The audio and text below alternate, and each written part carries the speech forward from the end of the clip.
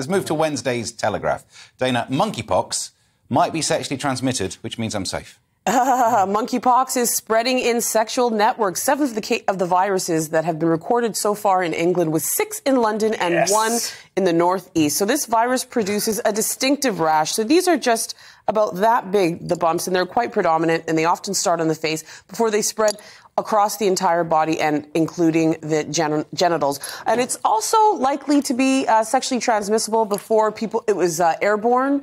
It was uh, through through um, Lesions. lesions, and uh, yeah, so now they're finding that this is uh, sexual sexually transmitted, and it seems to be happening right now. And I mean, there's only seven cases uh, with gay or bisexual men. That's so they're telling everybody to take a look out for that. The thing about it is, these cases have been linked to somebody who was recent who had recently traveled to Africa, Nigeria, if I'm not mistaken, and there is no cure, and there is a 10% mortality rate. That means one out of 10 people who get this are going to die.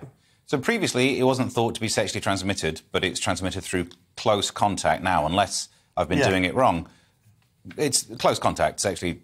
Yeah, so it doesn't have to be during the sexual activity. You're going to get some lesion rubbing, or you're going could happen the on a dance floor. I could do yeah, dirty dancing revival. But uh, so I don't know if it's actually through the process itself. Basically, if you're going to do your stuff, wear a mask. I do anyway, Yeah, are you, do you choose to, or are you asked to? and be fully. Make sure you're fully clothed. So that's how I do it, and no monkeypox here. Don't hump anybody with a bunch of lesions on their face. I don't know what to say. It's ruining all my fun. aren't you?